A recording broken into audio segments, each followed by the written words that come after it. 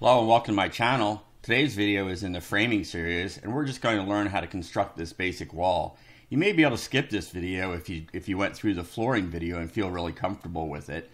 Um, but if you're just stepping into this series on this wall, this will teach you some of the basic concepts. And one of the differences in this case, I use an array to do some of the walls as opposed to uh, copying them individually as I did in the flooring video. Uh, it's important to note that there are some good uh, draft tricks in the uh, flooring video, so you might, might want to take some time to look at that. So let's get started. So to start out, we're going to create a new document, and I'm going to add the plate first. Um, so the plate is the you know the horizontal member that runs on the bottom. So we're just going to call that a plate, and we're going to uh, change its length to eight feet because that's the purchased length of, of uh, stud lumber and its width is going to be 3.5 because it's laying flat. And then 1.5 is the uh, actual length of a stud. So now let's zoom out to get that into, into view. And uh, if we look at if we go from the bottom you'll see if we set uh, you know looking from the front it looks like it's supposed to be a plate. So to make the stud we're just going to copy the plate and change the measurements and orientation a little bit. So to create our stud we're just going to copy the plate and then we're going to make some changes.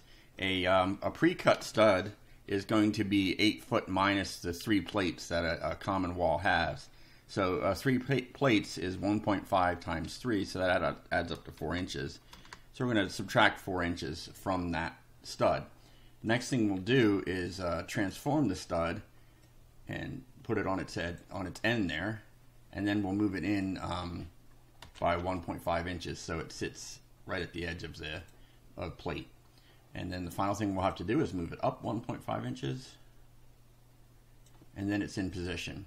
Now, one thing that I do want to uh, take an aside to explain was th there is the possibility of attaching this to the plate so that if you move the plate around, the wall stays with it. But that precludes doing uh, doing transforms. So, um, but I might try it with an array. So if you like, so if you try to attach it using the map mode here, uh, once once you've picked one of these, now the transform gets overridden by that. You can't change the placement.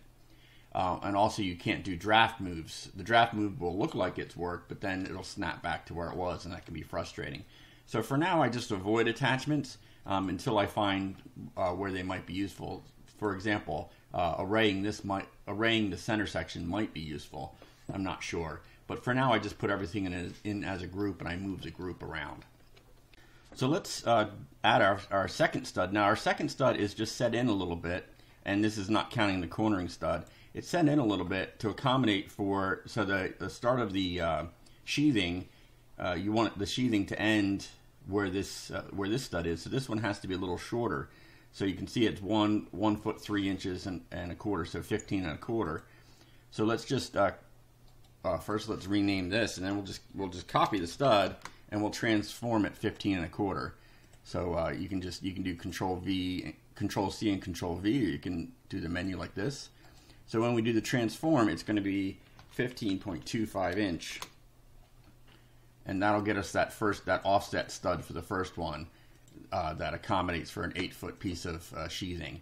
So at this point, I'm going to do an array uh, for the remainder of the studs to go out to 10 feet. So to create the array, we have to use the draft array because the only other array available is in part design, and a part design is only part design is only for a, one contiguous object. In other words, it doesn't have multiple pieces to it. So make sure you're in, in uh, draft, and we, you know we start out by selecting the object we want to array, which is this this stud here, and pick an array. So it starts out as a um, an ortho array. or you know square or linear or you know ortho seems to be a little bit so I think we're going to have six of them in the they're going to be in the x direction so I oriented in the x. Uh, I think it might be seven. And then we're going to go to the interval for the x and we're going to set that to 16 inches. So that's the space in between each one.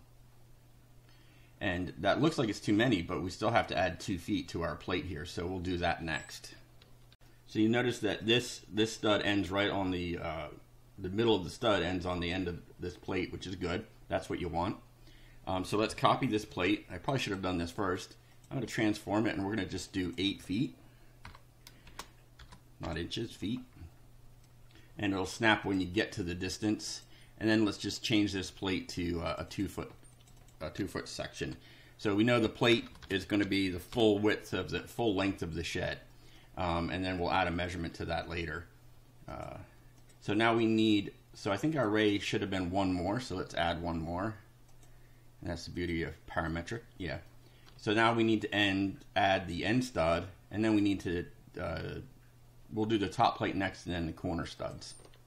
So to add the end stud, I'm going to copy this first one, and I'm just going to transform this 10 feet.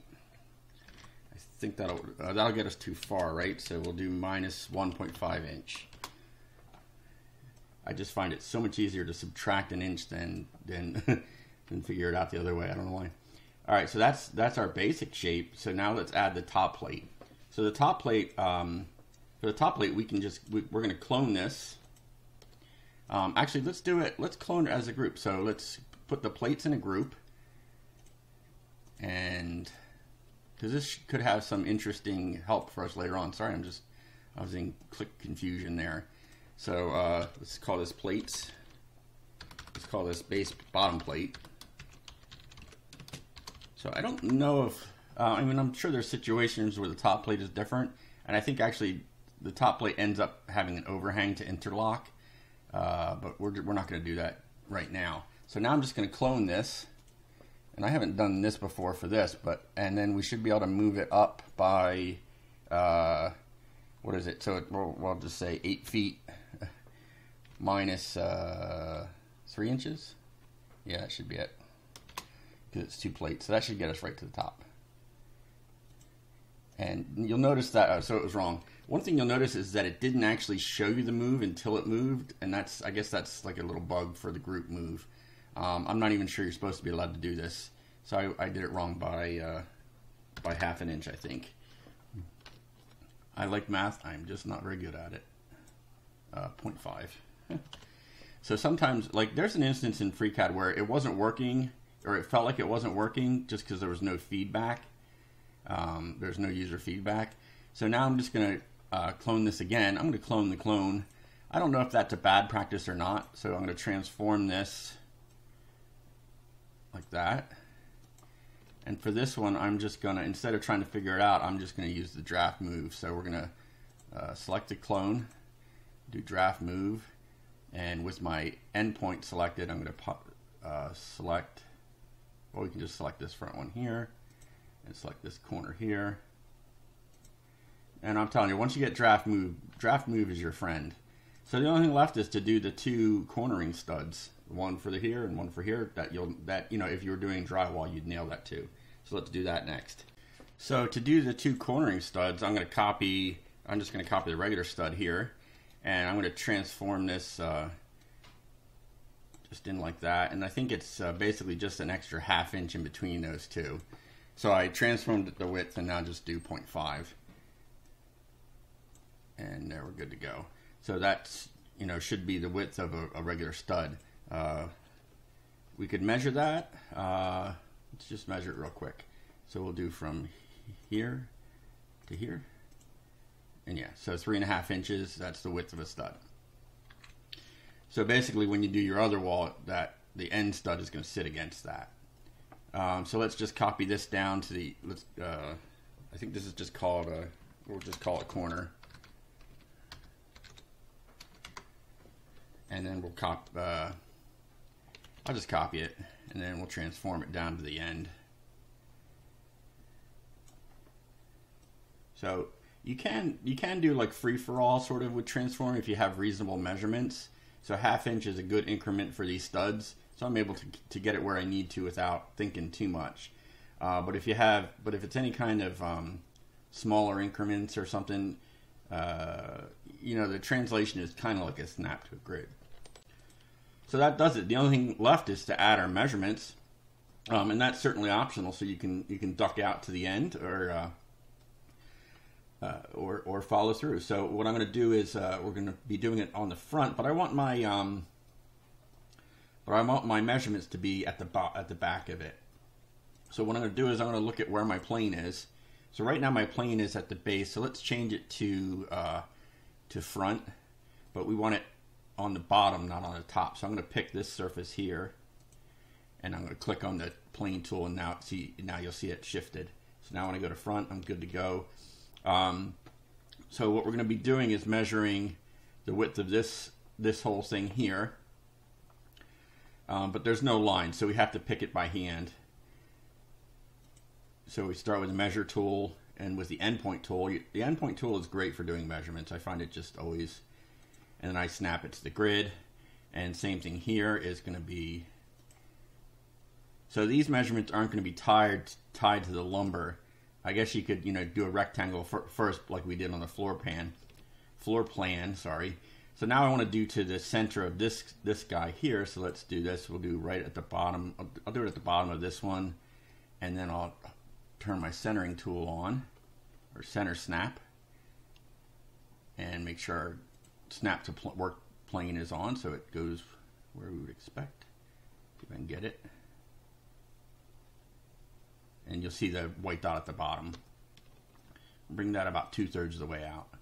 Actually, I wanted that to be one third, but so, and then the last one I'll measure, let's see what I do on this, uh, where the forefoot hits. So that just I mean, that's sort of just for instructional, so we don't really need it per se. So because I did this one wrong, it's hard to move it without any kind of indicators. I'm going to do the other one wrong. so we'll start out with putting it, uh, we need endpoint. And I turn endpoint off because it can be hard to get that midpoint if you have the endpoint.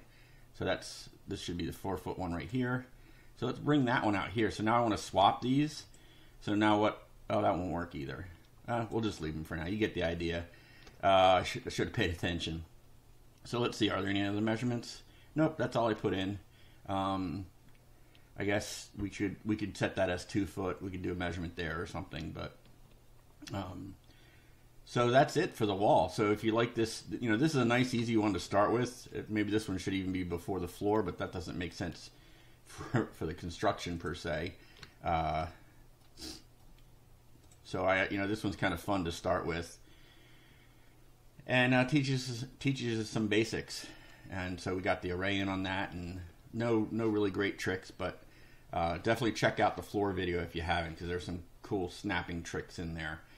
And uh, make sure you stay tuned, and we'll be doing. Uh, I think uh, I think the roof, part of the roof is next, or, or sheathing or something. So I'll see you next Saturday. Thanks. Make sure you subscribe and hit the alarm bell so you're updated when I post when the new videos come.